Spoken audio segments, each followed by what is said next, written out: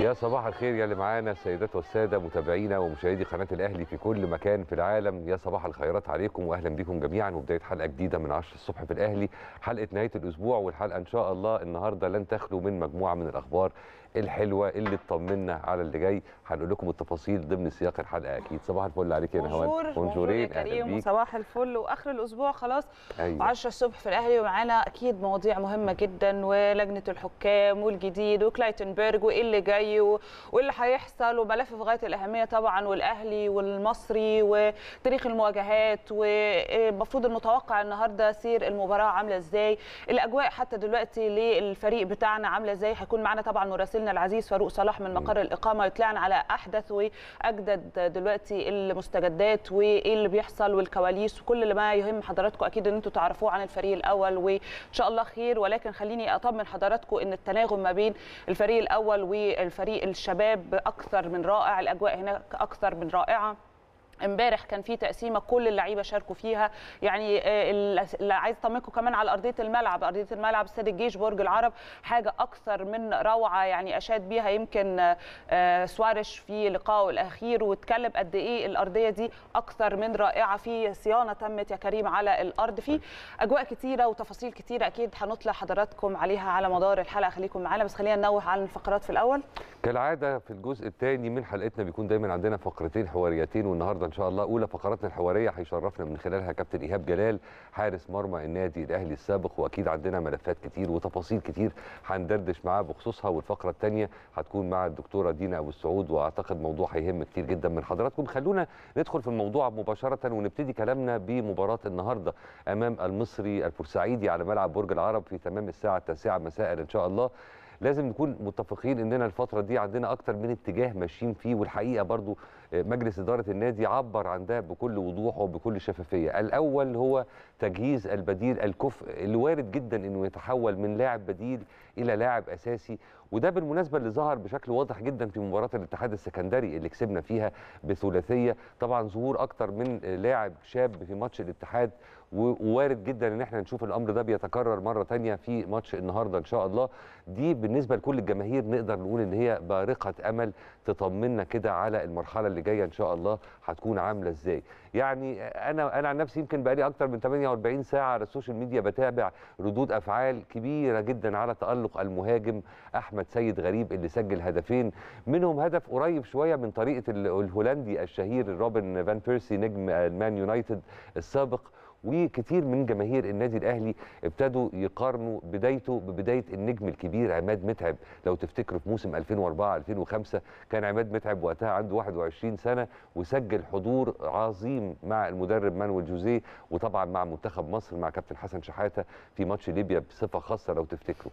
نرجع بقى لكلامنا مرة ثانية الحقيقة نجاح مجموعة اللاعبين الشباب في الفترة المتبقية من عمر الدوري هيكون أهم مليون مرة من إننا نحزن ونضيع وقت على ضياع يعني بالتعبير عن حزننا على ضياع أي بطولة محلية. معروف يعني هي راحت إزاي بدون العودة للتفاصيل اللي طبعا كتير جدا من حضراتكم ما كانش كلكم عارفينها وإحنا عن نفسنا وإحنا مش عارفينها بس مش هنقول بقى. قتلناها بحثا الحقيقة. بص أنا هقول لك حاجة كلام مظبوط 100% وأعتقد مش بس جماهير الأهلي الجماهير المصرية عامة وأي حد من عشاق يعني الكره المصرية أو الأهلي متابع اللي بيحصل على أرض الواقع وعارف بالظبط إيه اللي بيحصل وعارف المشاكل اللي عندنا كانت سواء تحكيميا أو ضغوطات أو غيره. فالناس على دراية أو يعني الصورة فيها شفافية يعني ما فيش حاجة مستخبية على حد يعني ما فيش سر مثلا مخفي عن الناس مش عارفين هو إيه اللي بيحصل ده مع الأهلي. خلاص الموضوع very clear زي ما بيتقال أو باين جدا لأي حد.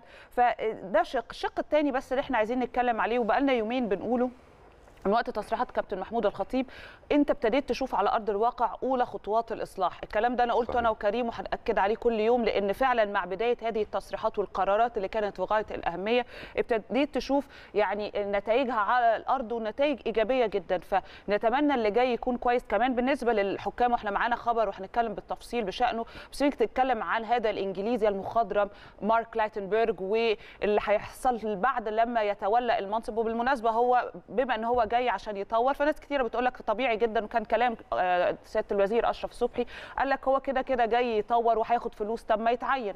وده أمر بديهي وأنا أتفق جدا مع هذا الرأي. طالما الراجل موجود وبيشتغل وبياخد فلوس يبقى ياخد بوزيشن وعلى هذا الأساس برضو يتم تقييمه. والراجل جاي بأجندة والراجل جاي بسكادجول معين وعنده لقاءات في غاية الأهمية.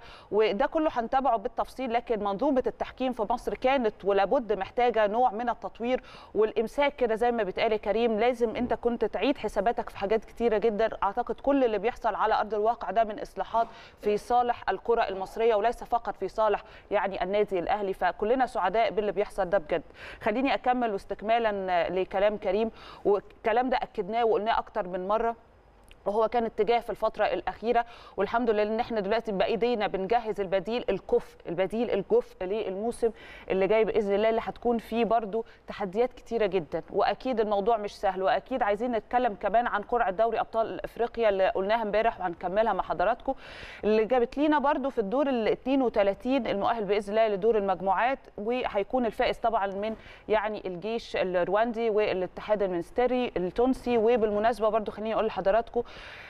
المباراة أكيد مش هتكون سهلة أبدا وأنت بتتكلم الآن بطل تونس اللي هيشارك في النسخة دي يعني بطل تونس. فهو أكيد تفوق في الدوري التونسي على أسماء كانت عريقة جدا زي النجم الساحلي والصفاقسي والإفريقي. وكان وصيف كمان لبطل الدوري والترجي ده يعني حاجة أعتقد برضو صعبة وحاجة ما هياش سهلة. فإن شاء الله نكون بنشوف قرعة يعني هي أكيد قرعة صعبة ما هياش سهلة لكن أنا أتمنى إن شاء الله إن الأمور تكون لصالحنا. أنا بتمنى ذلك يا كريم ومتفائلة برضو بيني وبينك؟ بصي ال- القرعة مش هتكون سهلة وبشكل عام مشوار النادي الأهلي الفترة اللي جاية عموما بقى مش بنتكلم على بطولة بعينها لا الدوري لوحده ولا بطولة أفريقيا لوحدها. أنا بتكلم مع. حضراتكم بشكل عام الفترة اللي جاية إن شاء الله أكيد هتشهد يعني تغييرات جذرية ملحوظة وليها انعكاسات طيبة ملموسة وكلنا شايفينها وشاهدين عليها وجماهير النادي الأهلي اللي استحملت فترات مش قليلة. كان الوضع فيها يعني مش مظبوط من كل النواحي الحقيقة وكالعادة وكطبيعتهم كجماهير وفيه وعندها يعني محبة ملهاش سقف ملهاش آخر ملهاش حدود للنادي الأهلي. ولهذا الكيان العظيم موجودين دايما في ظهر اللعيبة. وعلى ذكر اللعيبة أكيد برضو يعني استكمالا للكلام اللي كنا بندردش فيه من شوية أنا ونهاوند أكيد الفترة اللي جاية هنشوف خير. ليه؟ لأن إحنا عندنا مصنع وخط إنتاج بيطلع لنا أبطال مستقبليين. ابتدينا نشوف إرهاصاتهم بالفعل ابتداء من ماتش ال- الاتحاد اللي فات وأكيد هنستكمل ال- الاستمتاع بمشاهدتنا ومتابعتنا من خلال ماتش النهارده. دم جديد بيضخ ناس نازلين جعانين كورة بالمعنى الحرفي. كل واحد فيهم عايز يثبت نفسه ويثبت قدراته ويثبت إمكانياته ويثبت إن هو يعني يستحق إنه يلبس تيشيرت النادي الأهلي. دي الروح اللي إحنا عايزينها لأن دي ببساطة شديدة دي روح البطل اللي إحنا متعودينها من لعيبة النادي الأهلي. بالمناسبة في إطار يعني أو في سياق منفصل إمبارح تلقى اتحاد الكرة خطاب رسمي من الاتحاد الإفريقي لكرة القدم كاف بيخطرهم من خلاله باعتماد قرار اتحاد الكرة الخاص بمشاركة الزمالك والأهلي في دوري أبطال إفريقيا والتأكيد على أن قرار ترتيب فرق الدوري في حالة عدم انتهاء آه، يعني انتهائه شأن داخلي لاتحاد الكرة. كما تضمن الخطاب مشاركة الزمالك والأهلي في دوري أبطال إفريقيا ومشاركة بيراميدز وفيوتشر في البوطوله الكونفدرالية. كلام جميل. تعال بقى نروح للموضوع اللي أنا فتحته في بداية الحلقة يلا. يا كريم. والموضوع الخاص بكلايتنبرج امبارح عقد حازم امام عضو مجلس إدارة الاتحاد المصري لكرة القدم والمهندس أحمد دياب رئيس رابطة الأندية المصرية المحترفة. كان في اجتماع مهم جدا مع الخبير الإنجليزي مارك كلايتنبرج المسؤول دلوقتي عن منظومة التحكيم المصري عشان يناقشوا إيه بقى؟ عشان يناقشوا خطة واستراتيجية العمل خلال المرحلة اللي جاية. الاجتماع خليني أقول لحضراتكم برضو تطرق لعديد من الأمور منها شكاوي الأندية المقدمة ضد بعض الحكام خلال الموسم الحالي ومش هقول لحضراتكم عدد الشكاوى أكيد أنتوا عارفين ممكن مم. يتجاوز أي عدد بالظبط. هيقوم مفروض كلاتنبرج بنظر ودراسة جميع الشكاوى والاجتماع بالأطقم المسؤولة عن تلك المباريات والحالات كمان اللي كانت موجودة عشان يناقشها.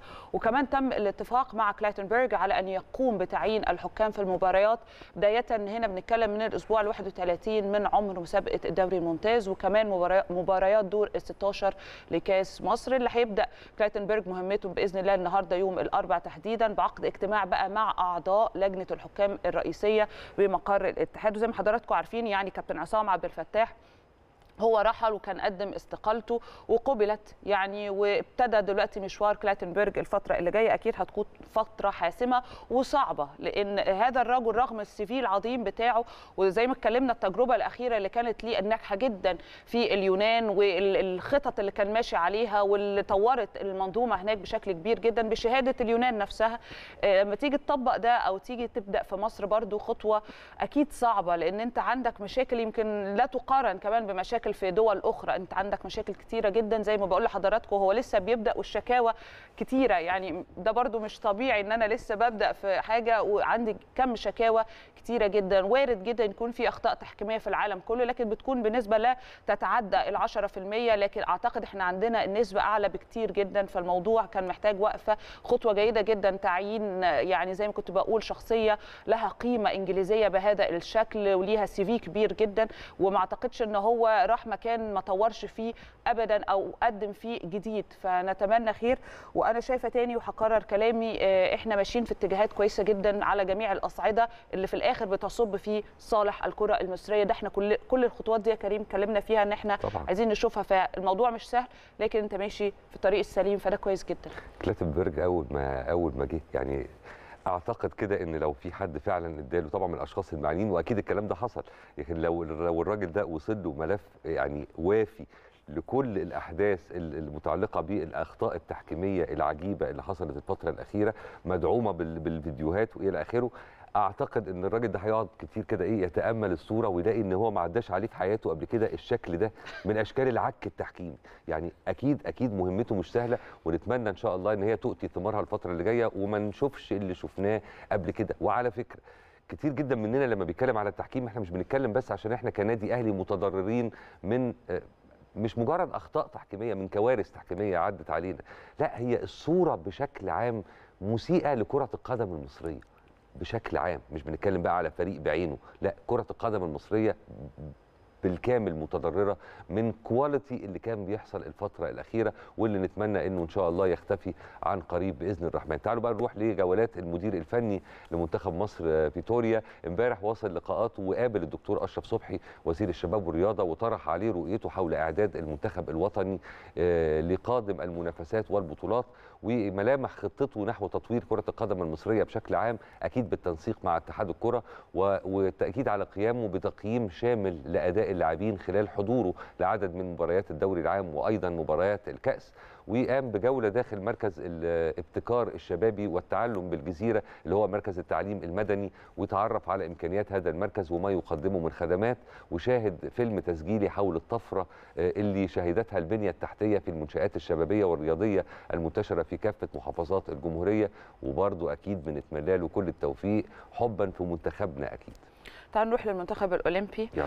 عشان كان في امبارح برضو لقطة حلوة كان البرازيلي روجيرو ميكالي المدير الفني للمنتخب الأولمبي وكان معاه معاونه في الجهاز الفني عملوا جولة كده والجولة كانت حلوة لأن هم نشروا الصور. إحنا دايما بنقول ال indirect marketing لأي دولة في العالم من خلال السوشيال ميديا بتكون وليها رواج كبير جدا. هم راحوا الأهرامات وزاروا كمان المتحف المصري وزي ما حضراتكم شايفين نشروا الصور ليهم. الصور يعني عجبت متابعين كتير جدا. أنتوا عارفين برضو متابعينهم برقم كبير. طبعا متابعي يعني الرياضة وكرة القدم تحديدا بتبقى أعداد كبيرة جدا في العالم كله. فناس كتيرة شافت الصور دي وناس كتيرة أعجبت بالصور دي. ودايما بيبقى في أجانب دايما الأجانب يا كريم لما بيجوا مصر كلهم بيبقوا حريصين تحديدا زيارة الأهرامات. لازم. يعني ما فيش حد تقريبا بيجي غير ما لازم يزور الأهرامات بيكون أول مرة يزور مصر.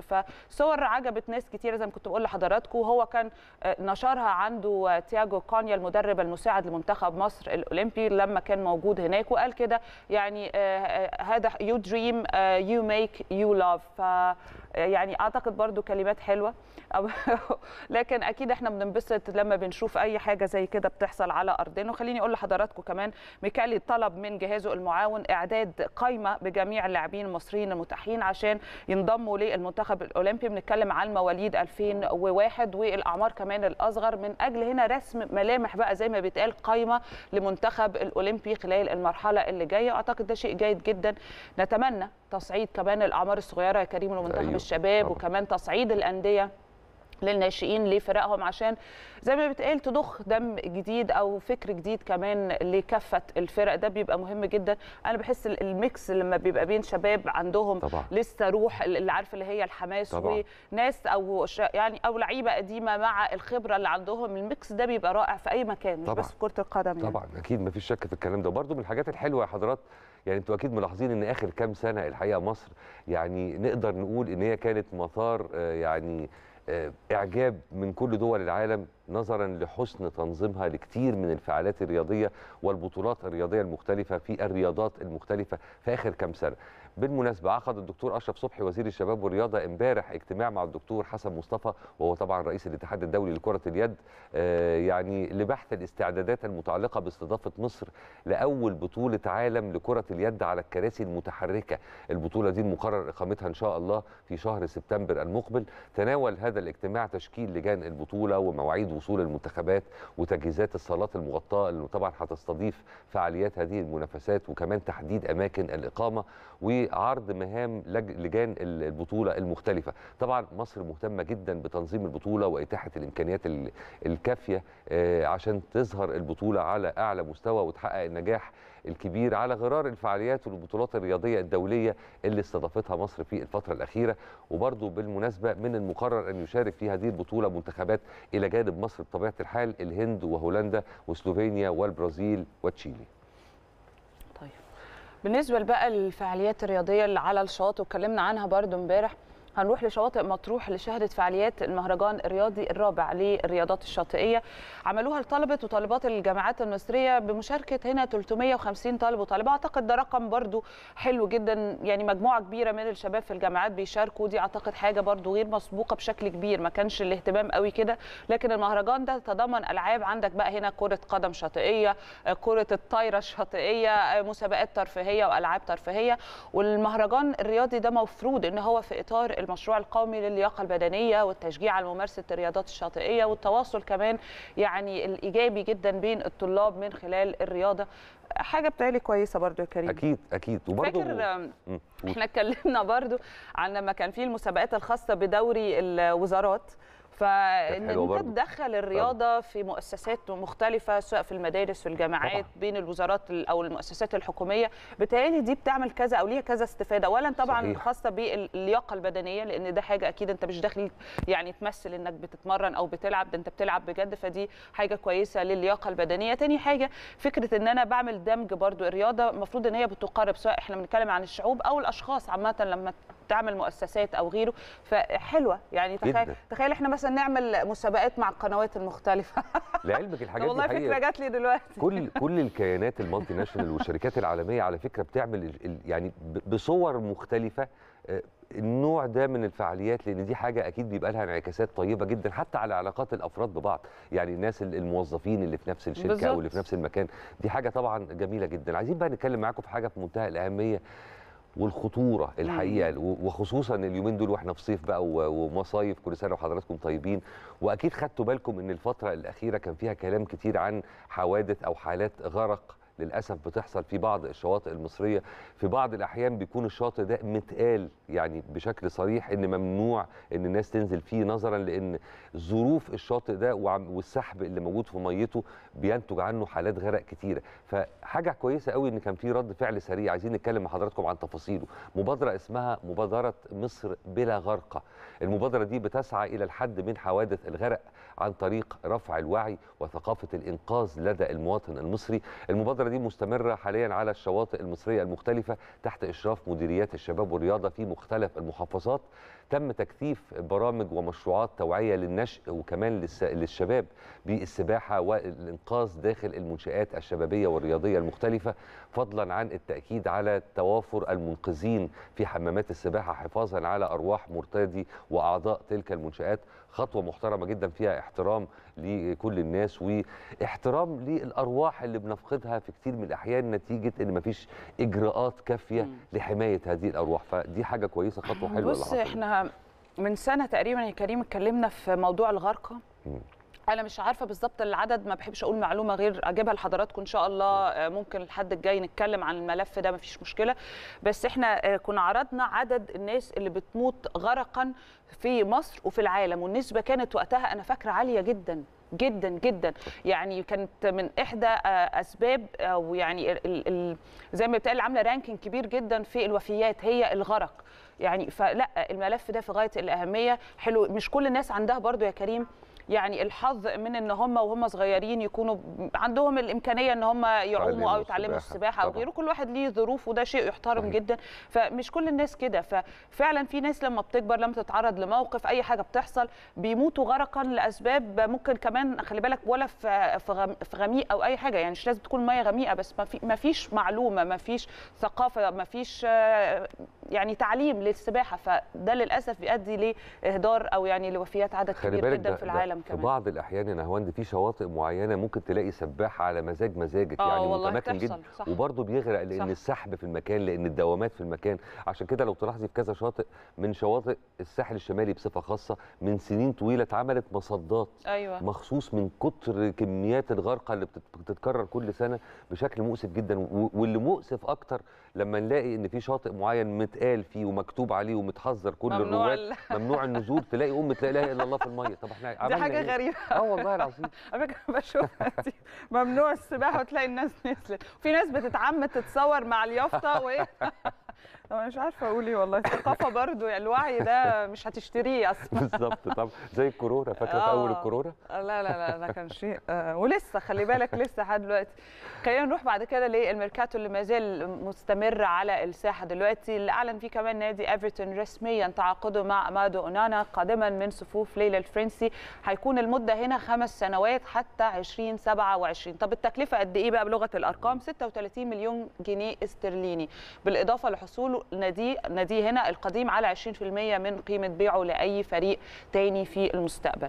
طيب أونانا كان سعيد جدا بالانتقال ده وهو قال كده في تصريحات للموقع الرسمي للنادي قال الانضمام لإيفرتون شعور رائع جدا. أعرف أنه ناد كبير في إنجلترا واحد من الأندية اللي كانت اللي كنت أتمنى الانضمام ليها منذ سنوات طويلة. بالمناسبة خليني أقول لحضراتكم برضو اللاعب يعني أونانا شارك مع إيفرتون في 41 مباراة وتمكن خلالهم من تسجيل ثلاث أهداف وصناعة هدف واحد.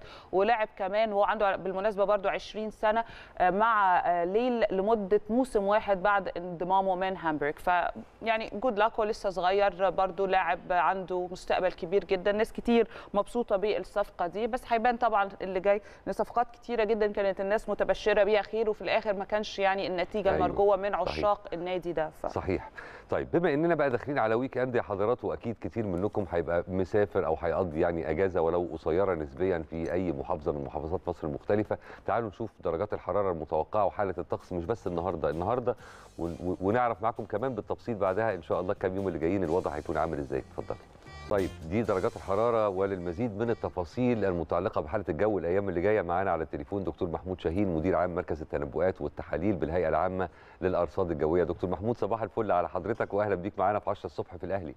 صباح الفل أستاذ كريم. أهلا بحضرتك. الحمد لله على السلامة. الله يسلمك. ربنا يخليك يا فندم. أهلا بيك. أهلا بيكم يا فندم. طبعا إحنا. النهارده يعني 10 أغسطس قول تلت الشهر عدى. التلتين اللي فاضلين ظروفهم إيه؟ وخصوصا الكام يوم اللي جايين بما إننا داخلين على weekend يا دكتور محمود. اتفضل. آه والله هي الحمد لله الأجواء الصيفية في مصر السنة دي آه ما سجلتش درجات حرارة مرتفعة حتى الآن زي ما شفنا السنة اللي فاتت. اللي فاتت تسجيلات درجات الحرارة تجاوزت ال 40 درجة على القاهرة في آه، بعض الأيام لكن الحمد لله حتى الآن آه، لم تتجاوز آه، تسجيلات ال 40 درجة خالص. يعني في الجزء اللي فاضل من أغسطس أو بمعنى أصح فيما تبقى من فصل الصيف في جزء إيجابي وجزء سلبي شوية. نبدأ بالإيجابي طبعا وهو إن درجات الحرارة تدريجيا مش هتزيد عن اللي فات. 33 34 في الظل 35 في الظل. لكن طبعا الجانب السلبي هو ارتفاع نسب الرطوبة بشكل ملحوظ جدا جدا. طبعا.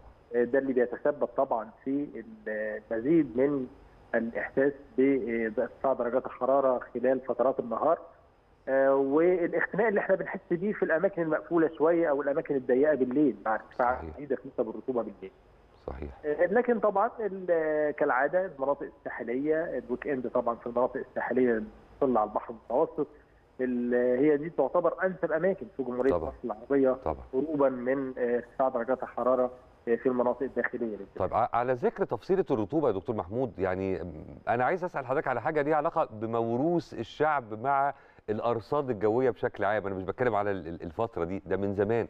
ساعات كتير قوي بنلاقي مثلا بنكون حريصين وبالذات في الصيف على إن إحنا نعرف درجة الحرارة كام. فنقرأ في الجرايد أو نشوف في نشرات الأخبار إلى آخره فنلاقي رقم معين. لكن تاني يوم لما بيجي بنلاقي إحساسنا يعني بالحرارة أعلى بكتير من الرقم اللي إحنا آه، عرفناه أو اللي إحنا قريناه. فدي بتكون بس ناتجة عن التفصيلة بتاعة الرطوبة دي اللي بتحسسنا بإحساس مبالغ فيه بالحر.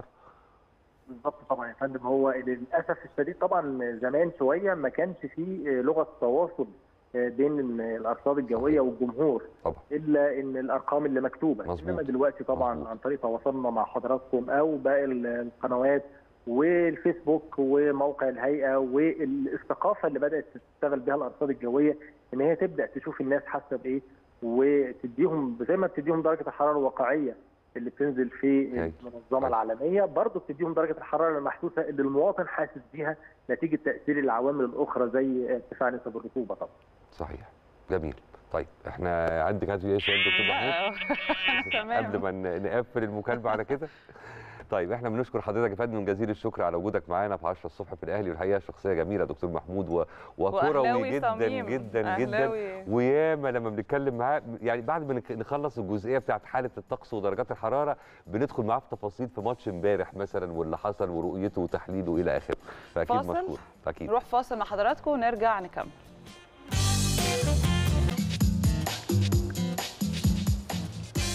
برحب بحضراتكم مرة كمان وخلينا دلوقتي نروح لمقر جريدة الشروق ومراسلتنا العزيزة نورهان طمان عشان نتابع أهم الأخبار الرياضية في الصحف المواقع مانشيتات أعتقد في غاية الأهمية على الساحة حاليا وال updates بتاعت كل ما يهم حضراتكم. نورهان bonjour صباح الخير برحب بيكي وأكيد أنا وكريم سامعينك وكل السادة دلوقتي المشاهدين. اتفضلي. يا صباح الخير يا نهاوند وصباح الخير يا كريم وصباح الخير على كل مشاهدي قناة النادي الأهلي في كل مكان. إحنا هنا من مقر آه، جريدة الشروق. نطلعكم على أبرز وأهم الأخبار الرياضية الصادرة صباح اليوم زي ما قلت يا نهاوند واول خبر معانا من جريدة المساء ومنشط الأهلي. شباب الأهلي يتحدى المصري. سواريز طالب لاعبيه باللعب دون ضغط. العميد هدفه الفوز للبعد عن شبح الهبوط. يحل النادي الأهلي آه، في التاسعه مساء ضيفا ثقيلا على النادي المصري. زي ما ذكر آه، تقرير المساء. في طبعا إطار الجولة الثلاثين لمسابقة الدوري العام. آه، طبعا آه، آه، يمكن تقرير المساء قال آه، ريكاردو سواريز المدير الفني للنادي الأهلي طالب لاعبيه باللعب دون ضغط طبعا في المباريات المتبقية بشكل عام كمان في بطولة الدوري. كمان خلينا نقول لكم ان المركز الثالث أو النادي الأهلي بيحتل المركز الثالث برصيد 59 نقطة بينما يحتل النادي المصري المركز الثاني 10 برصيد 33 نقطة. وكمان العميد حسام حسن المدير الفني للنادي المصري طالب لاعبيه بضرورة التحلي بالروح والعزيمة للهروب من شبح الهبوط خصوصا ان المنافسة مشتعلة جدا في قاع الدوري. تاني خبر معانا من جريدة الشروق أرتيتا يستهدف ضم جوهرة بطل الدوري الإيطالي. يستهدف نادي أرسنال آه، ضم اللاعب آه، ساندرو تونالي نجم نادي ميلان الإيطالي. طبعا بطل الدوري الإيطالي الموسم الماضي. وقال آه، طبعا التقرير أو ذكر تقرير الشروق أنه نادي ميلان يرفض بيع اللاعب إلا إذا بلغت قيمة الصفقة 55 مليون يورو. ودي ده الشرط الوحيد لنادي ميلان للاستغناء عن اللاعب في الفترة القادمة. الخبر الثالث معانا من جريدة الرياض السعودية السوبر الأوروبي بين سطوة الريال وطموح إنتراخت. طبعا النهارده الساعة 9 إن شاء الله ريال مدريد هيواجه انتراخت الألماني في آه، مباراة السوبر الأوروبي. وطبعا ريال مدريد بيسعى لتحقيق أو يعني يمكن تأكيد على يعني آه، سطو آه، يعني فوزه وانتصاراته في أوروبا. طبعا دوري بطل دوري أبطال أوروبا النسخة الماضية وكمان يعني طبعا بطل الدوري ال- الإسباني. كمان خلينا نقول لكم إنه يعني يمكن هو كمان تشيلسي هو طبعا بطل النسخة الماضية من البطولة. آخر خبر معانا من جريدة الشرق الأوسط ويليامز مسيرتي في الملاعب التنس في ملاعب التنس اقتربت من نهايتها. أعلنت سيرينا ويليامز نجمة طبعا آه، التنس عن اقتراب نهايتها في الملاعب آه، يعني في الأيام المقبلة وقالت إنه في نهاية الشهر هيكون قرار اعتزالها هو الأقرب لطبعا تفرغها في الفترة القادمة لدور الأمومة. دي كانت أبرز أخبارنا هنا من موقع وجريدة الشروق. شكرا لكم جدا وعودة مرة أخرى إلى الاستوديو. بشكرك جدا يا نورهان على هذه التغطية وبالنسبة للخبر الأخير بس حابة إن أنا أعلق شوية لأن سيرينا ويليامز أسطورة أسطورة كبيرة جدا في عالم يعني تنس السيدات تحديدا. وشوف من وهي عندها كام سنة ابتدت صغيرة جدا واستمرت لغاية 40 سنة. وعلى فكرة 40 سنة في عمر لاعب التنس ما هوش سن كبير قوي مش زي طبعا كرة القدم أو غيره. في ناس بتكمل بعد ال 40 في تنس تحديدا. لكن هي واحدة من أكبر أو من أكبر الأسامي في تنس السيدات بتتكلم عن 23 لقب من بطولات ال Grand Slam الأربعة الكبرى. يعني لا سيرينا ويليامز لها عشاق في كل أنحاء العالم. إن إحنا من وإحنا صغيرين وبنسمع عن سيرينا ويليامز يعني كانت أسطورة أسطورة بجد يعني بطله كبيرة جدا. على كل حال أكيد الخبر ده أكيد زعل ناس كتيرة جدا من عشاقها. أنا من على فكرة أنا من الناس اللي بحب جدا سيرينا ويليامز. آه لكن برضو هي كانت صرحت زي ما حضراتكم يعني سمعتوا من زميلتنا نورهان إن هي عندها اهتمامات أخرى وقد تكون خلاص يعني أسطورة أو فترة التنس انتهت من حياتها أو هتنتهي قريبا. فيعني برضو الأسماء الكبيرة اللي إحنا اتربينا عليها فكرة دلوقتي بتشهد إن هي بتعتزل تحسسك إن إحنا كبرنا ولا إيه؟ شوية كده وهتلاقي نفس الكلام يعني بنقوله على بيعتزل و... وسيرينا ويليامز. بالزبط. الأسماء اللي إحنا كنا بنشوفهم أساطير زمان وإحنا صغيرين يعني. طيب نروح بقى مع حضراتكم على الرياضات العالمية المختلفة والبداية هتكون مع آخر يوم في دورة ألعاب الكومنولث ونتابع مع حضراتكم دلوقتي ملخص لمنافسات الاسكواش وتنس الطاولة والغطس. تابعوا معانا. في دورة ألعاب الكومنولث خلاص تم اختتامها بالأمس طبعا وعايزة أقول لحضراتكم كان في احتفالية حلوة جدا لأن هي خلاص الدورة انتهت طبعا لعام 2022 وناس كتيرة جدا كانت بتتابعها. خلينا كمان إحنا نروح نتابع إزاي كان حفل الختام. ونهاية أخبارنا هتكون مع ترويض الخيول حيث قدمت الفارسة البريطانية تشارلوت فري أداء أكثر من رائع في منافسات ترويض الخيول ضمن بطولة العالم للفروسية المقامة في الدنمارك. تابعوا معنا. طيب إحنا كده خلصنا فقرتنا الأولى. خلينا نروح فاصل ونرجع عشان نستقبل كابتن إيهاب جلال.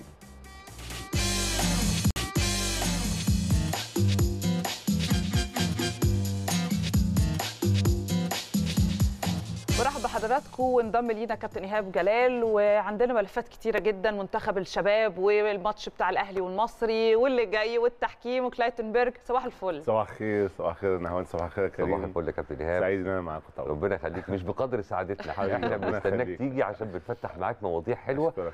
وبنستمتع دايما بملاحظاتك كده إيه اللي ساعات في أمور كده بتقراها أنت ما بين السطور فإحنا بنسعد بقى بإن إحنا نتكلم معاك فيه. فتحب تكون البداية من البطولة مثلا؟ بطولة إيه آه. رأيك وال- والاستعدادات؟ وهل كنتوا متوقعين إن أنتوا توصلوا إن إحنا نوصل يعني للنهائي؟ آه زي ما حصل كده ولا كانت الدنيا ماشية إزاي؟ بص يا كريم آه، منتخبنا منتخب كويس جدا وبيتطور كل يوم بشكل ملحوظ جدا. حلو. طبعا السن ده في المرحلة دي بيبقى صعب شوية لأن من مرحلة ال ال ال مش عايز أقول يعني طفولة أو. بتاع يعني لغاية الشباب يعني آه. دي في تغيرات فسيولوجيه طبعا،. متغيرة جدا طبعا بالنسبة للاولاد ديت فلازم تكون أنت دارس الموضوع أو شايف الموضوع ماشي إزاي لأن موضوع خطر جدا ممكن وأنا بمرن الاولاد لأن كنت قعدت فترة طويلة حوالي 12 سنة 13 سنة في الدوري الممتاز ما ما مش حاسس بالموضوع. إنما لما مسكت الاولاد آه، أنا فاهم الموضوع لأن دارس كويس فيها الموضوع دوت العامل النفسي لل- للولد أو للاعب في المرحلة السنية التغيرية ديت. فطبعا كنت تشوف مثلا وأنا بمرنهم من- حوالي سنة ونص أو سنتين كان مثلا النهارده امرنه ألاقيه كويس بكرة ألاقيه مش كويس بعده ألاقيه عادي. فكان في تغيرات دي أنا كمدرب ما بحبهاش لأني.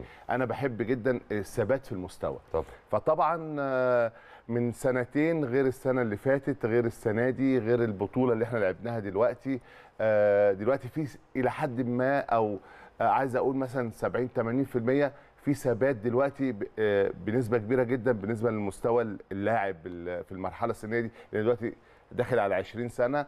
فابتدى دلوقتي خلاص النظام عنده يبقى ثابت شوية يعني. آه بالظبط كده فطبعا آه، إحنا آه، من السنتين اللي فاتوا بنحاول نحضر ونحاول نشتغل معاهم فكان في تغيرات كتير جدا إحنا كانت بتتعبنا شوية إنما من البطولة اللي إحنا لعبناها دي فضلنا مع الجهاز الفني والموجودين كلهم آه، قدرنا آه، نتمرن كويس قدرنا نثبت المستوى قدرنا أنا فوجئت بصراحة من البطولة آه، بالمستوى اللاعبين يعني. مم. ليه؟ لأن أنا اللي كنت حاسس بيها أو الجهاز الفني كان حاسس بالموضوع.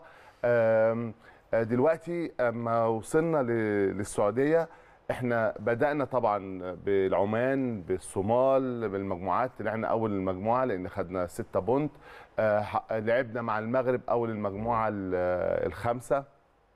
فطبعا آه، واجهتوا الجزائر برضو وز- آه. الجزائر آه، يعني كنتوا متوقعين أصلا إن أنتوا تفوزوا عليهم إحنا لعبنا الجزائر مرتين في في البطوله العربية في مصر كسبناها. وفي شم... بطولة شمال أفريقيا برضو كسبناها. بس هو تقيل ال- فرقة كويسة جدا ومن أحسن الفرق بتلعب كورة. بالظبط. الاولاد كويسين جدا. إحنا كمنتخب مصر إحنا بنحب نلعب مع الفرق الكويسة. اما كنت قاعد معاكم من كذا حلقة قلنا إن النادي الأهلي لما بيلعب أو منتخب مصر بيلعب مع فرقة أقل منه صحيح. بي... هم بياخدوه آه، بياخدوا النادي الأهلي ليهم يعني. مم. فطبعا أو المنتخب مصر فالموضوع بيبقى وحش. إنما أنت لما بتلعب عشان أنت مستواك عالي مستواك كويس أما بتلعب مع فرق كويسة زي المغرب أو تونس أو الجزائر تبقى مصحصح دايما. بتبقى مصحصح واللعيبة بتلعب كويس. يعني أنا بصراحة يعني أما كنا بنلعب الصومال أنا كنت متخوف جدا لأن فرقة برضو مع احترامي ليها مش متواضعة. آه متواضعة جدا وعشوائية بدرجة كبيرة فطبعا كنا الواحد ده متخوف من- ينعكس على أداء لاعيبتنا إحنا كمان. بالظبط كده وتبقى أنت متخوف إيه اللي ممكن يحصل في مم. المباراه إنما لما تيجي تلعب المغرب أو تلعب الجزائر أو تلعب تونس فرق كويسة فرق محترمة فت... أو السعودية مثلا طبعا. فرق كويسة جدا بتقدر تلعب معاها كويس يعني إحنا فوجئنا بال يعني إحنا رحنا آه، أبها ديت أبها دي عالية شوية عن سطح البحر فكان الأكسجين كان ناقص شوية. تخيل حضرتك إن إحنا رحنا فرقة السعودية في الشوط الثالث والرابع هم اللي كانوا بيقعوا مننا. وكرامبات كتير آه. جدا وإحنا اللي كنا. مسيطرين يعني كتير جدا وكنا ممكن نكسب في المباراة فطبعا الحمد لله إحنا خسرنا بضربات. الجزاء طبعاً. وطبعا أنت عارف إن حضرتك دي بتبقى حظ كبير. فالحمد لله إحنا كنا متوقعين إن إحنا ممكن نوصل آه، لدرجة كبيرة. إنما أما وصلنا للنهائي وطمعنا إن إحنا آه، إن إحنا ناخد البطولة ده كان شيء رائع من من مننا يعني. ف ومن الأولاد لأن الأولاد ادوا مباريات رائعة جدا وإحنا وإحنا طبعا فخورين جدا بيهم. والحالة اللي حصلت لمنتخب هنا في مصر لما كنا إحنا هناك كنا بنسمع يعني كنا بنشوف كأننا مثلا الفريق الأول بتاع المنتخب مصر لأن كان في حالة وكان بيتصلوا بينا في ثقة بقى عند الناس عامة وفرحانين هم طب بالظبط. خليني أسألك يعني هل ممكن نشوف مثلا فيتوريا بيستعين من بحد من الشباب على منتخب فكرة الشباب. فيكتوريا كان على اتصال بينا دايما كل يوم. وكان آه، آه، بيقول أنا بتفرج وده الأمل الشباب لأن دوت الفرقة ديت اللي هي 2003 بعد أربع سنين هم هيلعبوا كا- كأس العالم. فهو كان بيتكلم في الحتة دي وكان على طول لايف معانا بالفيديو بالفيديو كان بيحفز اللعيبة وبصراحه كانت اللعيبة على قد المسؤولية وإحنا يعني بصراحة يعني إحنا وكان برضو اللي عامل ال- الم... آه،؟ أشرف صبحي آه أشرف آه، دكتور أشرف صبحي كان بيتصل بينا باستمرار آه، اتحاد الكوره كان على طول متواجد معانا على طول يعني كل الأطراف كانت داعمة ليكم بصراحة يعني إحنا ما توقعناش إن ال- الدعم الكبير جدا من الدولة ومن مدرب منتخب مصر الكبير يعني ليه هو ما كانش فيه الدعم ده قبل كده؟ مش ما كانش موجود بس مش بك... مش بالقدر اللي مش كان موجود بالقدر اللي. إحنا شفناه ده أوكي إحنا كنا حتى هنا لما كنا البطوله العربيه في مصر ما كانش الدعم كبير جدا بالنسبة اللي إحنا كنا شفناه. عشان إحنا كمان وصلنا لمرحلة إن إحنا فعلا في أمس الحاجة إن إحنا نطمن على اللي جاي من خلال إن إحنا نطمن على الجيل اللي مع حضرتك. صحيح. وأنت يعني أنت بحكم يعني قربك منهم ومتابعتك ليهم إلى أي درجة حضرتك مطمن على خامات اللعيبة دي؟ يعني هل ممكن نشوف في المستقبل القريب طفرات يعني لعيبة استثنائية؟ أنت شا- شايف شغلهم من أوله من والله دلوقتي. يا كريم بص حضرتك أنا عايز أقول لك إن اللعيبة دي لعيبة كويسه يعني عندنا لع-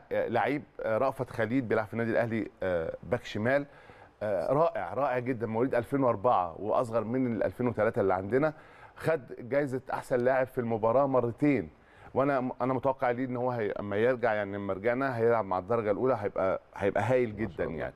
عندنا صلاح باشا اللي هو أحرز الهدف في في السعودية ده بيلعب في أودونيزي لعيب هايل وكان بيلعب في النادي الأهلي. لعيب هايل جدا. عندنا آه عمر فايد بيلعب في المقاولين ولد ما شاء الله طويل ولعيب كويس جدا اللي أهدر ضربة الجزاء في القائم. يعني عندنا لعيبة كويس عندنا ماجد هاني لاعب الزمالك لاعب هايل جدا ومقيد وفي معاهم في حراسة. المرمى تحديدا بقى؟ وفي حراسة المرمى معايا أحمد نادر اخذ أحسن أحسن حارس في البطولة.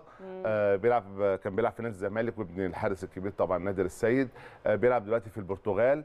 آه من الحراس اللي هي أنا بدأت معاها ما كانش على المستوى الكويس. يعني ابتدى بس هو في في ميزة الولد إن هو بيسمع الكلام بيطور من نفسه آه اللي بيتقال له بيتعمل. ده مهم جدا بالنسبة أنا كمدرب حراس مرمى أو مدرب مدرب للفريق. اما بلاقي ولد بيسمع الكلام وبيتطور يبقى ده تعرف إن هو هيبقى حارس مرمى جيد أو لعيب كويس. فده من نوعية اللعيبة. وعندي كمان كريم أحمد نبيل بيلعب في فاركو وعندي محمد عادل خليفة بيلعب في بتروجيت. عندي ثلاث حراس هايلين جدا كويسين جدا. وأنا سعيد جدا إن أحمد نادر خد أحسن حارس في البطولة.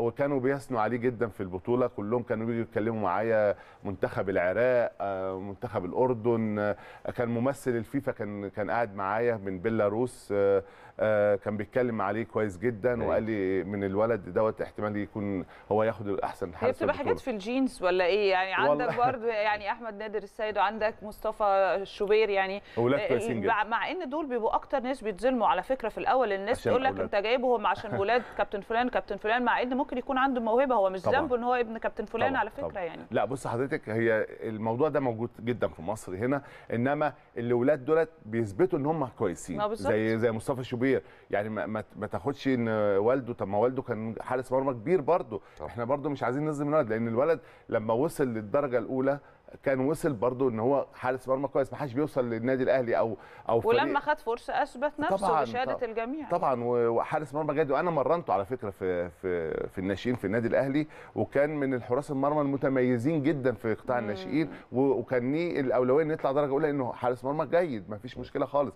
نفس الكلام أحمد نادر السيد ابن نادر السيد طبعا حارس مرمى جيد جدا ووالده طبعا كان حارس مرمى منتخب مصر. طبعاً. طبعا ما فيش كلام. مش عايزين نحط دي مع دي لأن لازم تشوف بيدفعوا المستوى. ثمن اسمهم بالكامل.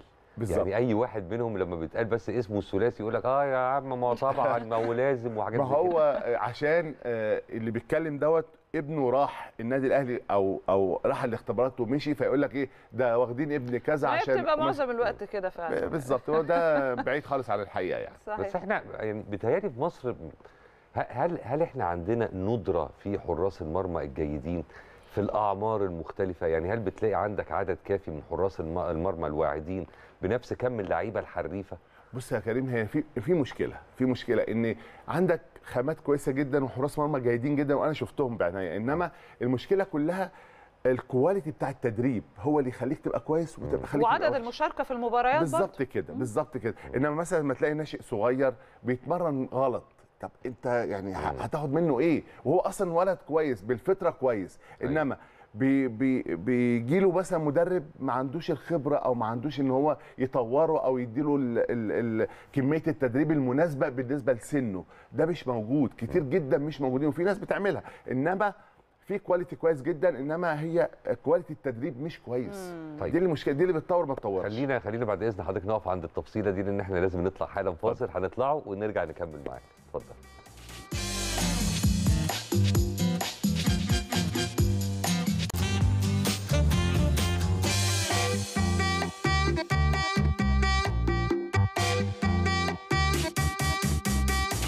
بنرحب بحضراتكم خلينا دلوقتي نروح سريعا live view معسكر الأهلي في برج العرب قبل مواجهة المصري وأكيد في استفسارات كتيرة جدا حابين إن إحنا نعرفها ونقولها لحضراتكم. مراسلنا العزيز فاروق صلاح. فاروق bonjour صباح الخير. وعندنا أكيد أسئلة كتيرة حابين أنا وكريم يعني نسألك عليها وكمان نطمن السادة المشاهدين دلوقتي. طمنا من ناحية دلوقتي التناغم اللي موجود وأنا كنت بسمعك امبارح مع كابتن إسلام الشاطر وأنت اتكلمت عن النقطة دي تحديدا. قلت في تناغم كبير جدا بين الفريق الأول والشباب المنضمين. في كان مران شارك فيه كل اللعيبة وتقسيمة شارك فيها كل اللعيبة. اتكلمت عن أرضية الملعب قد إيه هي رائعة وفي صيانة حصلت يعني من الناس القائمين المنظمين كمان هناك. ففي أجواء لحد دلوقتي نقدر نقول مبشرة جدا. خلينا كمان نعرف سير النهارده اليوم لحد ميعاد المباراة. ولو في أي حاجة كمان حابب إن أنت تطلعنا عليها اتفضل. يعني خليني في البداية اصب عليك يا نهوان صباح الخير وصباح الخير يا كريم وصباح الخير على كابتن إيهاب جلال مدرب حراس منتخب مصر الشباب. يعني قبل ما نروح للمباراة ونتكلم على تفاصيل أنا عارف إن الجهاز الفني الكابتن إيهاب والكابتن آه، محمود جابر الكابتن كرم الأفراد الجهاز دي تعبت قد إيه؟ في كتير من الأوقات كنا موجودين معاهم. عملتوا بطولة مميزة عملتوا بطولة كويسة لكن إن شاء الله القادم أفضل بإذن الله يا كابتن إيهاب. نهاوند اثرتي كلام مهم جدا وكلام في غاية الأهمية. طبعا إحنا موجودين هنا في الإسكندرية مقر إقامة فريق النادي الأهلي أو معسكر النادي الأهلي اللي كان ابتدى طبعا مع مباراة الاتحاد السكندري اللي انتهت بفوز النادي الأهلي بثلاثة أهداف مقابل لا شيء. طبعا المعسكر هنا ممتد حتى مباراة المصري اليوم اللي هتكون في تمام الساعة 9 على استاد الجيش ببرج العرب. خليني آخد المشهد من النهاية وأرضية الملعب اللي اتكلمنا عليها ويعني أفردنا كتير من الكلام له- لهذا الأمر وكان من كلام مستر ريكاردو سواريش اللي أثنى يعني أنا صراحة أول مرة خلال المباريات اللي نبقى موجودين فيها إن مستر ريكاردو سواريش يثني على أرض ملعب. طبعا يعني غير أرض الاستاد الأهلي والسلام. أول أرض أو مباراة أو ملعب خارجي النادي الأهلي أو مستر ريكاردو سواريش اتكلم عنه بشكل أكثر من رائع. لكن ده يرجع للجهود المبذولة لإدارة لإدارة استاد الجيش ببرج العرب ومجهودات الدولة المصرية في الارتقاء بالبنية التحتية للرياضة. المصريه. لو أنت عارف إن مجهود كبير جدا بيبذله فخامة الرئيس عبد الفتاح السيسي ودولة رئيس الوزراء الدكتور مصطفى مدبولي الدكتور أشرف صبحي وزير الشباب والرياضة في الارتقاء بالبنية التحتية. البنية التحتية والأمور اللي تمت على استاد الجيش ببرج العرب أعتقد بتظهر في أبهى صورة إن واحد من الاستادات أو الصروح العملاقة للرياضة المصريه وأيضا أثنى عليه روي فيتوريا مدرب المدير الفني للمنتخب المصري اللي خلاص من المقرر انطلاق معسكر منتخب مصر الأول هيكون في في شهر شهر سبتمبر القادم باذن بإذن الله وهيكون هنا في الإسكندرية. التناغم والانسجام اللي إحنا شفناه ولمسناه من اللاعبي النادي الأهلي خليني أقول لك إن رفع من الروح المعنوية الفوز الأخير على فريق الاتحاد السكندري. آه، في أمور كتير جدا كابتن إيهاب طبعا هيلمس هذا هذا الأمر إن داخل النادي الأهلي في أمور مميزة ما تحسش إن اللعيب اللي داخل جاي من خارج النادي الأهلي أو جاي من. قطاع الناشئين هو غريب على النادي الأهلي ده الدور الكبير جدا اللي بيقوم بيه كباتن النادي الأهلي ممثل في اللي موجودين هنا في الإسكندرية سواء الكابتن رامي ربيعة سواء محمود متولي يعني سواء أليو ديانج اللاعبين الكبار والدور الأكبر اللي بيقوم بيه اللاعبين اللي غير غير موجودين معانا هنا في الإسكندرية كابتن الشناوي كابتن أيمن أشرف كاب- كابتن وليد سليمان ودورهم والتواصل مع اللاعبين. ده عامل حالة من التناغم عامل حالة من الانسجام. الناشئ أيضا اللي موجود يا نهاوند مش حاسس أو مش هايب الموقف. لأن في أمور كتير جدا أنت بتزرع في لعيب النادي الأهلي الشخصية إنه يكون آه، على قدر المسؤولية اللعيبة حاسة بالمسؤولية اللعيبة حاسة إن هي لسه ما عملتش حاجة مباراة وانتهت عندنا مباراة تانية مهمة دور كبير جدا طبعا للعب كافه اللاعبين اللعيبة عايزة خلاص تقفل الصفحة الماضية بنركز في المباراة المتبقية في الدوري. مستر ريكاردو سواريش قال إن هي مجموعة من المباريات هنقف من خلالها على مستوى بعض اللاعبين اللي نقدر نستعين بيهم من قطاع. الناشئين آه، طبعا شكر اللعيبة ال- الكبار وقال إن هم يعني خلال 36 يوم لعبنا 12 مباراة وده رقم كبير جدا. النادي الأهلي على مدار الثلاث سنوات الماضية بيقف على منصات التتويج والأمر دوت وصل اللعيبة لحاله عالية جدا من الإيجاد في ظل ضغط ال- المباريات طيب اسمح لي هنا عايزه أسألك على حاجة يا فاروق بما إن إحنا ذكرنا الضغوطات الموجودة وتلاحم المباريات طمنا عن حالة طبعا يعني الإجهاد أو لو في أي إصابات أو في أي مشاكل خلي الناس برضو تطمن قبل المباراة بساعات قليلة جدا الوضع عامل إزاي عندك؟ يعني خلينا أطمنك أنا هواندي طبعا يعني هو في المباراه ال- الأخيرة أمام الاتحاد السكندري كان في كدمة ما بين كريم فؤاد ومحمد عبد المنصف حارس مرمى نادي الاتحاد لكن اطمنا من الدكتور أحمد أبو عبلة إن الكدمة كانت بسيطة وتعامل. معاها في أرض الملعب واستكمل كريم فؤاد ال- ال- المباراة ثم إن كريم فؤاد نزل المران بال- بالأمس وأدى المران بشكل أكثر من رائع طبعا ده من خلال الدكتور أحمد أبو عبلة اطمنا على كريم فؤاد اللي كان أقرب اللعيبة اللي حصل بس يعني آه، كدمه ما بينه وما بين محمد عبد المنصف. برضه اطمنا من خلال الدكتور أحمد أبو عبلة إن إن شاء الله عقب العودة من الإسكندرية أحمد عبد القادر وأحمد نبيل كوكا هينضموا لتدريبات الأهلي الجماعية. أكرم توفيق قريبا قريبا جدا. في في المستطيل الأخضر في الملعب ال- إن شاء الله. يعني بعد اكتمال الأمور ونزل التدريبات ال- الجماعية بشكل بشكل كامل. طاهر محمد محمد طاهر نهواندي خلال أسبوعين هيكون موجود أيضا في التدريبات الجماعية. حسين الشحات اللي عاد أول أمس بعد إجراء الجراحة في جراحة الغضروف وهيبدأ خلاص البرنامج التأهيلي. هنا الحالة البدنية الحالة الفنية التركيز اللي موجود عند اللاعبين النهارده عايزين يقدموا مباراة كبيرة أمام فريق المصري. خليني أقول لك إن الاتحاد المصري قرر إسناد المباراة لطاقم تحكيم بقيادة الكابتن محمود البنا. هيعاونوا سمير جمال وسامي هلهل اثنين على تقنية الفار طارق مجدي واحمد صلاح والحكم الرابع احمد مجدي. نتمنى التوفيق يا نهاوند للنادي الأهلي. في هذه المباراة. أنا موجود موجود معاك يا نهاوند طبعا لو في استفسارات أو أي تساؤل بالنسبة لك أو بالنسبة لكريم أو للكابتن إيهاب. لا يعني تغطية أكثر من رائعة كالعادة منك يا فاروق. وإحنا أكيد قناة الأهلي يعني مكملة معاك التغطية لحظة بلحظة على مدار اليوم لغاية ميعاد المباراة بإذن الله وكمان بعد المباراة. ونبارك لبعض كلنا بإذن الله يعني. وبداية إن شاء الله كده مبشرة وأنا متفائلة كابتن إن الله. ولما بتفائل بيحصل والله.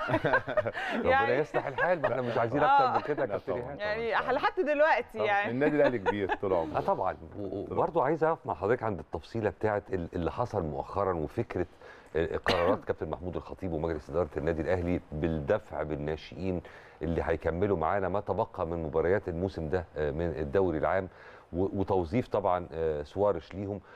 وبعض أصوات ابتدت تعلو في الفترة الأخيرة وتقول لك ما معناه؟ طب وإحنا يعني نكلف ليه ونصرف ليه ونعمل صفقات خارجية مكلفة ليه لما إحنا عندنا ولاد زي الفل؟ ما نستعين بولادنا اللي متربيين جوه النادي الأهلي واللي اتودكوا على مبادئ النادي الأهلي إنجاز التعبير. آه بص يا كريم آه أنا طبعا أنت عارف إن أنا متربي في النادي الأهلي من عندي 10 طبعاً، سنين بلعب طبعاً. ماسك كوره ب- طبعاً. إلى إلى الدرجة الأولى. وده كان ال- العرف اللي موجود بالنسبة للنادي الأهلي ان بياخد ابن أبنائه. ليه؟ لأن ابن النادي الأهلي متعود على البطولات مش متعود إن هو يخسر أي حاجة. يعني أنا طول عمري في في الناشئين عمري ما خسرت بطولة وأنا لاعب أو حتى وأنا مدرب. فطبعا أنا متعود على كده. يعني أنت حضرتك مرة سألتني إزاي تلعب قدام 100000 متفرج. أنا أنت ما سألتني أنا السؤال قلت لحضرتك إن ده عادي بالنسبة لي لأن أنا في الت... أنا أنا شايف الموضوع ده من وأنا صغير. يعني مش... أنا ما بهابش الموضوع أنا مش هايب الجماهير لأن أنا متعود من وأنا صغير كنت بشوف يعني أما زمان قوي لما كنا بنلعب في ال... في النادي الأهلي في الدرجة الأولى كان أقل أقل جمهور يجي النادي الأهلي حوالي 5000 متفرج في المباراة عادية. غير بقى ما تلعب بقى مباراة نهائية مع ضد. الزمالك أو أفريقيا بيجي لك مثلا حوالي 30 40 ألف متفرج. فأنا متعود على الموضوع ده. إن لعيبة النادي الأهلي متعودة على الموضوع ده. فأنا شايف إن الخطوة اللي اتخذت بالنسبة للكابتن محمود الخطيب إنه يلعب بالناشئين أو بالشباب الصغير اللي اللي عاوز ياخد فرصة ده شيء رائع جدا وشيء جميل لأن ده اللي هيفرز يشوف لك مين اللعيب اللي يقدر يكمل في النادي الأهلي واللعيب اللي ما يقدرش يكمل. وده أنا شايف إنها حاجة حاجة كويسة لأن أنا شفت المباراة بتاعت النادي الاتحاد أولاد زي الفل زي الفل عيال أولاد يعني تقدر تعتمد عليهم في المستقبل. و... واللي يقدر يكمل هيكمل لأن دوت آه، شيء جميل. وإحنا خدنا الفرصة كده. يعني لما جينا نلعب في الدرجة الأولى آه، خدوا برضو قرار في النادي الأهلي إن يلعب مباراة الزمالك كأس مصر نهائي كأس مصر بالناشئين. وإحنا أنا كنت موجود معاهم في الوقت دوت ولعبنا المباراة. بس أنا ما لعبتش لأن كابتن شوبير هو اللي لعب وأنا كنت معاه في ال- في الاحتياطي. إنما هي دي الفرصة اللي هتاخدها آه، الناشئين وانت بدل ما تدفع فلوس كتير جدا بالشراء أو كده طبعا لازم لازم برضو في ناس لازم أنت تيجي ممكن ت- تدعم أو تطعم بالظبط بشيء. من الصفقات الخارجية برافو عليك. الأصل والأساس من إحنا ده عندنا أساس بالظبط. لأن أنت في- والإعارة اللي عندك في إعارة برضو لو رجعوا. هيفيدوا كتير طبعا لأن بدل ما تصرف فلوس كتيرة جدا أنت عندك أولاد كنز عندك ممكن تاخده تلعب معاه يلعب عندك من غير. مش. مش هتك... مش هيكلفك حاجة والباقي اللي مش هيقدر يكمل يروح إعارات برضه هيستفاد طبعاً. والنادي الأهلي. هيستفاد ده شيء شيء جميل. انما التدعيم مطلوب جدا لأنك أنت بتلعب في بطولات كبيرة ولازم برضه عندك أولاد برضه اللي اللي, اللي بتجيبهم من بره لازم يكون عندهم خبرة كبيرة طبعا مع الاولاد اللي هم الصغيرين ياخدوا معاهم خبرة. وأنا شفت فاروق صلاح وهو بيتكلم بيقول لك إن اللعيبة الصغيرة اندمجت بسرعة جدا مع اللعيبة الكبار. وده الشيء أيوة. اللي موجود في النادي الأهلي المبادئ الموجودة من النادي الأهلي من زمان اللي إحنا اتربينا عليها. إنك أنت بتطلع في الدرجة الأولى ما تحسش إن أنت غريب. بالظبط. كل اللعيبة الكبار بيدعمك وبيلاعبك وبيخليك واقف على ارض صلبة فعلا يعني بشكل برافو كبير عليك. لا بص يا كابتن إيهاب يعني هو تقريبا الفقره خلاص بتخلص بس خلينا نقول حاجة مهمة هيفضل مصنع الناشئين عندنا حقيقة. يعني مكان بيخرج أسماء عظيمة بتلمع بعد كده سواء بنتكلم عن عماد متعب أنا هدي أمثلة يعني طبعا. محمد الشناوي حسام شريف إكرامي آه، حسام حسام حسام عاشور حسام عاشور. يعني أسماء كتيرة جدا آه، فحسام غالي ف... أسامة حسني، لا لا يعني لا و- جدا. حسام حسن في أسماء لا، كتير كتير كتير, طبعاً. كتير جدا. فهيفضل ده المكان اللي بيطلع النجوم. ويمكن النجوم دي هي اللي لمعت قوي حتى عن أي محترف جه عندنا من بره. فيعني ما فيش شك ابدا في كده. كل التوفيق إن شاء الله للي جاي. وإحنا شايفين اولى البصمات أهو أو النتائج على الأرض حاجة لله. مشرفة جدا.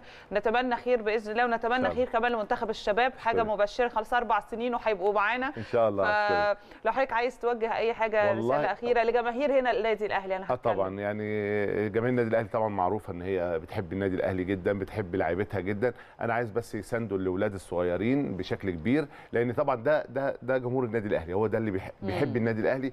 فكل شيء آه للنادي الأهلي هم بيعملوه. فأنا شايف إن هم يدعموا الأولاد الصغيرين يوقفوهم على حيلهم آه آه وطبعا ده مش مش بعيد عن جمهور النادي الأهلي. ده, أتمنى ده طبعا حاصل بالفعل من بعد ماتش الاتحاد على فكرة. آه إحنا طبعا. كنا بنقول في الجزء الأولاني من حلقة النهارده إن إحنا بقالنا يومين ثلاثة الدنيا مقلوبة على لعيبة بعينها من صحيح. النماذج الشابة الواعده الرائعة. اللي شفنا لها أداء ممتاز في ماتش الاتحاد واللي بنتمنى إنه يكرر في ماتش إن النهارده شاء الله هيتكرر ومستقبل كبير للنادي الأهلي والشباب بتوعه ونتمنى التوفيق لمجلس اداره ولعيبة و... وعايزين ما ننساش. حاجة والمدربين برضو يعني طبعا. لازم ندي كريدت والفضل للمدربين في سواء ما الناشئين أو. في الأشبال في منتخب الشباب برضو معلش إحنا ما نقدرش نغفل دوركم كابتن ده. الداعم ده الداعم يعني أنتوا الأساس ما أنتوا اللي. أنتوا اللي بتعلموا أنتوا اللي بتربوا أنتوا اللي بت- بتدوا خبرة فيعني برضو تحيه كبيرة يعني مش طبعا هينفع نتمنى نعدي التوفيق نتمنى التوفيق ووجودك يا. كابتن إحنا مطمنين على حراس مرمى المستقبل ربنا ان شاء الله الدنيا هتبقى يخليك. زي الفل ربنا يخليك. كريم، نورتنا وبنشكرك. على وجودك معانا جزيلا أشكرك يا نهار طيب. هنروح فاصل ونرجع بس هنرجع هترجعوا حضراتكم مع كريم عشان فقرة الخاصة مع دكتور دينا أبو السعود وملف جديد من الملفات الخاصة بملف الصحة اللي أعتقد برضو هيهم حضراتكم فاصل ونرجع نكمل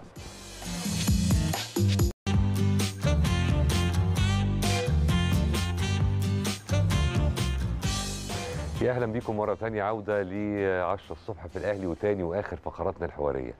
الحقيقة في ناس كتير بتعاني من السمنة المفرطة، البعض منهم بيلجأ لل diet إنه يعمل ريجيم سواء بينجح فيه أو ما بينجحش قوي، لكن في بعض الأحيان بنلاقي إن في ناس مضطرة وما قدامهاش غير إن هي تجري عملية جراحية للسمنة، تدخل جراحي. الحقيقة الناس دي بيكونوا في أمس الحاجة لوجود كميات كافية ووافية من ال vitamins في جسمهم خصوصا بعد إجراء هذه العمليات. ده الموضوع اللي حن يمكن هنخص يعني جزء من الحلقة كده يعني أو من الفقرة دي في الكلام عنه. لكن بشكل عام إحنا هنتكلم في الفقرة دي عن الفيتامينات وأهميتها بالنسبة للجسم. ده اللي هنتكلم فيه مع الدكتورة دينا أبو السعود اللي بتنورنا دايما في 10 الصبح في الأهلي. صباح الفل يا صباح. الخير. أهلا بيكي. عاملة إيه؟ كله تمام؟ عامل إيه؟ الحمد لله. ماشي الحال. الحمد كله لله. تمام زي الفل. موضوع مهم وموضوع أيوة حلو. وهيفيد ناس كتير إن شاء الله اللي. هنتكلم فيه ده. فكرة الفيتامينز لأن يمكن البعض مننا مش واخد باله من أهميتها مش واخد باله من إن هو المفروض لو مش بيحصل عليها بكميات كافية من خلال ال- ال- الغذاء الصحي آه، إنه يلجأ لمكملات إلى آخره. فتعالي نبتدي بأهمية الفيتامينز للجسم عموما وبصفة خاصة للناس اللي لسه خارجة من جراحة سمنه. الفيتامينات والمعادن مهمين جدا لصحة الإنسان ولصحة ال- البني آدم سواء من السيدات أو من الرجال. من أهمية آه، أو أهمية الفيتامينات والمعادن للصحة العامة والصحة الجسدية والصحة النفسية. آه، آه، لو آه، أنا باكل أكل صحي بقول خلاص مش لازم ناخد vitamins ما دام أيوة. إحنا متأكدين إن كمية ال vitamins اللي بناخدها كويسة لكن صعب جدا إن أنا أقدر أعمل monitor لكمية ال vitamins اللي بناخدها من الأكل لأن معظم الفيتامينات الجسم لا ينتجها. فمن أهم الحاجات اللي بيعملها الفيتامينات للجسم اولا بيديني طاقة كويسة قوي وإحنا كلنا عايزين طاقة في اليوم كلنا بنشتغل. وسواء ستات أو رجالة أو صحيح. الستات اللي ما بتشتغلش عندها مهام في البيت كتير عندها. أولادها توديهم جامعة توديهم مدارس توديهم جيم تمارين الولاد تمارين طبعاً. بالظبط فاول حاجة دعم الطاقة تاني حاجة دعم المناعة آه، مهم قوي إن أنا أعرف أدعم مناعتي لأي فيروس بيهاجمني أو أي بكتيريا أو حتى الفطريات. في أحيانا بتبقى فطريات لو مناعتي قليلة بتتمكن مني. لأن جسمي عليه فطريات. لكن لو آه، مناعتي قليلة ال- الفطريات اللي مش كويسة تقدر تتمكن مني. ومن أهم الحاجات لصحة ال- الشعر والبشرة جمال الست شعرها وبشرتها فيتامينات ومعادن رقم واحد. الفيتامينات والمعادن مهمة كمان لحرق ل- ل- ل- لعملية التمثيل الغذائي وحرق الدهون. ده مهم جدا. ولدعم الصحة النفسية والمزاج العام. طبعا. يعني أنا لو صاحيه عندي نشاط هيبقى نفسيتي كويسة و positive energy لو صاحيه بفطر وعايزة أنام تاني هتبقى مشكلة. ف... فعلى طول بقول مهم جدا جدا فيتامينات ومعادن إن أنا أكتسبها يوميا سواء من الأكل الصحي أو من المكملات الغذائية المصرحة من سواء وزارة الصحة أو هيئة سلامة الغذاء تمام حلو طيب بالنسبة بقى للي لسه خارج طازة من آه. إحدى عمليات الجراحات السمنة. سواء بقى تكميم تحويل مسار آه. آه. نسمع حاجات كتير طبعا هل دول فعلا بيكونوا محتاجين للفيتامينز أكتر من الشخص العادي آه طبعا ده أوتوماتيك الدكتور المعالج بيكتب على طول فيتامينات ومعادن اوتوماتيك لأن أنا لما باجي آه، بلجأ لعمليات سمنة لو بلجأ ل لتصغير المعدة فحجم المعدة بيبقى ربع الحجم اللي كان موجود أيوة. فكمية الأكل اللي بتبقى قليلة جدا طبعا. فصعب إن أنا أعرف آخد من الأكل القليل ده آه، vitamin C vitamin B complex كالسيوم الكالسيوم مهم جدا لصحة العظم والانقباض عضلات العضلات وبالأخص عضلة القلب صعب قوي إن أنا أعرف آه، آخد intake مثلا من vitamin E المهم ك antioxidant من الزنك المهم لكل العمليات الحيوية من الكوبالامين اللي بيدعم لي الدم وكرات الدم الحمراء. فلازم آخد آه، آه، مكمل غذائي أو multivitamin آمن آه، أمشي عليه آه، على طول. لو لو مثلا بعد العملية ما بقدرش أبلع ممكن لو هتكلم على Alpha Multivit ممكن أطحنه. وادوبه و- واشربه. آه، اول أول أسبوع من العملية وبعد كده أو أول أسبوعين زي- ما الدكتور يقول إمتى يقدر آه، يبلع. وفي كل ال vitamins المطلوبة للشخص ده بصفة خاصة اللي لسه آه طالع. من العملية. آه طبعا. في آه، من أهم الفيتامينات اللي داخل Alpha Multivit vitamin C هيدعم له المناعة جدا جدا آه هيدعم له امتصاص الحديد عشان ما يجيلوش أنيميا. Okay. آه عندي داخل Alpha Multivit طبعا إحنا شايفين آه صورة Alpha Multivit على الشاشة لأن مهم قوي أقول إن ملناش بديل لهذا المنتج إحنا موجودين في الصيدليات أو عن طريق الارقام اللي ظاهرة على الشاشة بنوصل لحد باب البيت. عندي 13 فيتامين مهم جدا لاصحاب الناس اللي بتعمل آه، جراحات سمنة من vitamin C آه، الكوبالامين مهم ال folic acid موجود. كل عائلة فيتامين ب موجودة داخل Alpha Multivit ودي حاجة ميزة عندنا إن صعب إنك تلاقي multivitamin يحتوي على كل عائلة فيتامين ب. plus الكالسيوم و plus ال folic acid. تمام جميل. طيب أنا بقى عايز أستأذنك إن أنا أدخل في وسط أسئلتي أسئلة ال- ال- المشاهدين لأن أنا عندي عدد حوالي ست سبع أسئلة. Okay. فعشان ما ما ما- يعني الوقت ما يسرقناش من غير ما نقول أسئلة الناس. في سؤال من سندس رجب بتقول رائحة العرق النفاذة برغم استخدام مزيلات العرق ممكن يكون سببها نقص ال- vitamins؟ ممكن يكون سببها نقص ال vitamins زي vitamin B complex ممكن يبقى من أحد أعراض آه، أسباب آه، آه، رائحة العرق تراكم السموم. vitamin B هو اللي بيدعم لي سرعة الأيض وهو بيدعم لي التمثيل الغذائي. فتقدر تستخدم Alpha Multivit أهم حاجة إن أنا ما أكترش عن قرص واحد في اليوم. Okay. عشان حد يقول لي طب أنا محتاج أكتر من قرص. ده وقتها لو آه، مثلا آه، آه، حد كبير شوية في السن وعمل تحليل فيتامينات وقتها ولقى destruction رهيب يسأل الدكتور بتاعه الدكتور معالج لو محتاج أكتر من قرص. Okay. الناس السلام بياخدوا قرص واحد قرص. واحد. بالظبط. إمتى؟ بعد وصباحا صباحا. ليه الفطار. بقى؟ ما بحبوش قبل النوم لأنه بيدعم لي الطاقة جدا. بعد الفطار أهم حاجة على كوباية مية كبيرة مش بق مية. Okay. لأن ده داخل Alpha Multivit آم، كل الفيتامينات اللي فيه قابلة للذوبان في الماء عشان تبقى امتصاصه أحسن ويخش آه، مجرى الدم بسرعة. فلازم آه، أخده على كوباية مية كبيرة أو بعد الغداء. الرياضيين ممكن ياخدوه قبل قبل ال- التمرين بتاعهم بساعة عشان يقدر يدعم لهم الطاقة ويعرفوا يقعدوا فترة أطول آه، في التمرين بتاعهم. زي الفل. جميل. طيب نرمين عدوي بتقول المفروض البنت تبتدي تهتم بفكرة الفيتامينز وأخذ المكملات الغذائية ابتداء من سن كام؟ ابتداء من سن 18 سنة 20 سنة لازم. اولا بعد سن ده لو هي بتاكل أكل صحي أنت عارف إحنا المشكلة دلوقتي كمان البنات ال- ال- ال- اللي في المدارس بينزلوا أو في الجامعات مش طول الوقت بياكلوا في البيت. طبعا. آه، اللي عندها درس؟ اللي- بتوين درس ودرس طبعاً. مثلا أو عندها آه، نادي أو عندها حاجة فبتلاقيها في النادي بتاكل الأكل اللي مش صحي. طبعا. فلما بتيجي تروح بتبقى شبعت. ما صحيح. بتقدرش تاخد ال- ال vitamins المطلوبة. فأنا ممكن أقول لأ من قبل 18 سنة من 15 سنة من 14 سنة هو مصرح من أول سنه 13 سنة. okay. آمن للأعمار الصغيرة. آمن للأعمار والسيدات الحوامل آمن ليها جدا وبدعم الب مالتي فيت جدا. لكن لازم تستشير الطبيب لأن ممكن الحامل ما تحتاج تراكيز أعلى. آه الب مالتي فيت الب مالتي فيت التراكيز بتاعته average.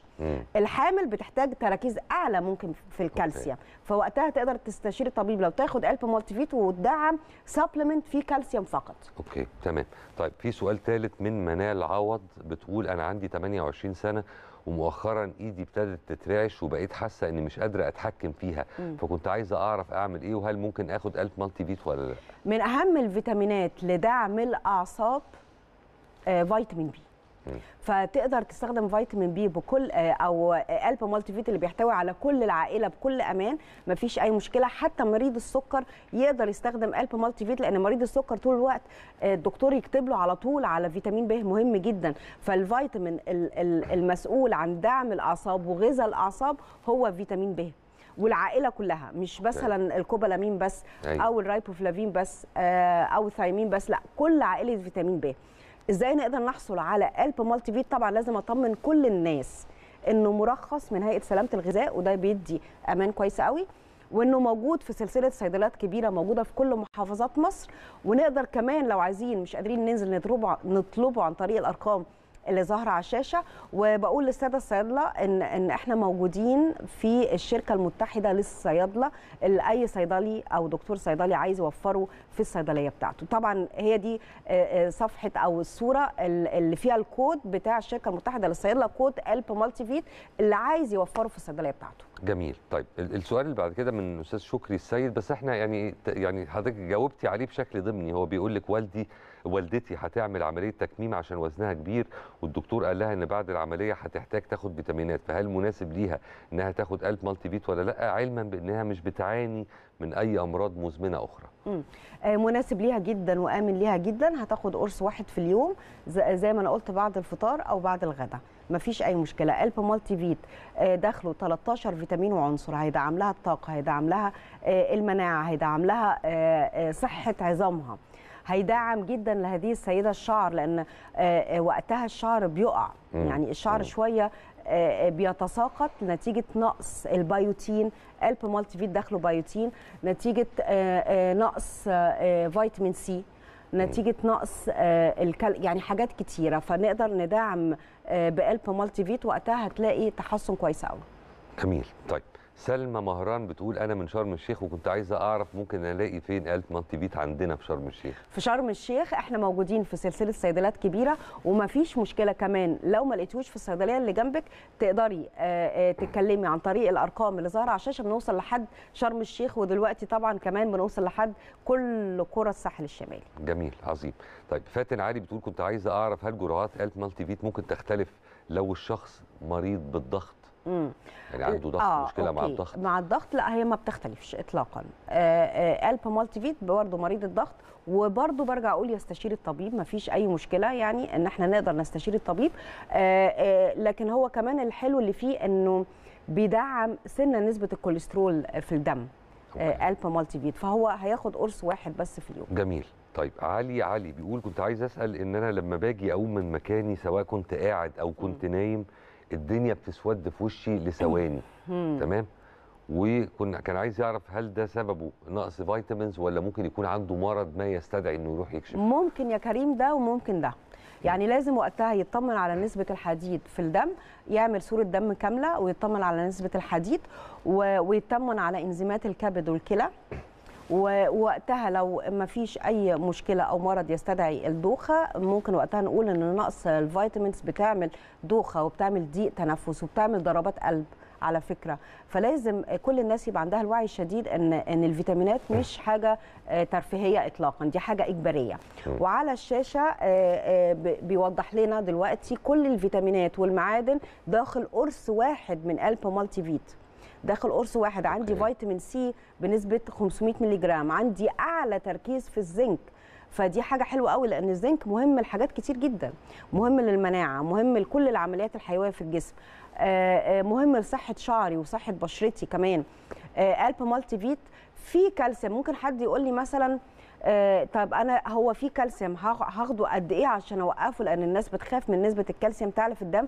بطمن الناس كلها إن نسبة الكالسيوم عندي فقط 70 مللي جرام ال- البالغ محتاج 1000 والحامل محتاجة 1200 فلا يمكن يحصل ترسيب للكالسيوم من قلب مالتي فيت عشان كده بقول ما باخدوش آه، آه، شهرين واوقف لا أنا ممكن آخد القرص ك lifestyle لأن التركيزات بتاعته average مش هيحصل إن التركيزات تعلى من أي فيتامين موجود في طيب قلب مالتي. قلتي من شوية إن من ضمن عناصر القوة واللي بتميز المنتج ده تحديدا بالمقارنة بغيره هو وجود العائلة الكاملة الفيتامين بي.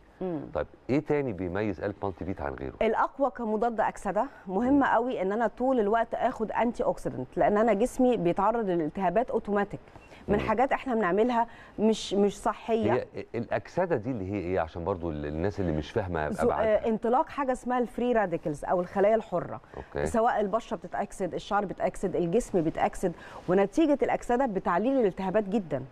يعني لو هتكلم من يعني الأك... الأكسدة دي بتكون حاجة في الدم في الخلايا في أكسدة الخلايا، الخلايا. بالظبط فلو لو الأكسدة عليت آه، حتى العلماء اكتشفوا إن في علاقة بين ظهور ال cancer والأكسدة عالية في الجسم مم. لأن الأكسدة بتعمل mutation في ال DNA بتاع الخلية بتعمل آه، آه، بتعمل تلف في ال DNA. بتاع الخلايا فبيجي ALP Multivit الفيتامين E والفيتامين C هم اللي بيعملوا كضد أكسدة وعندنا حاجات كتير قوي بتأكسد.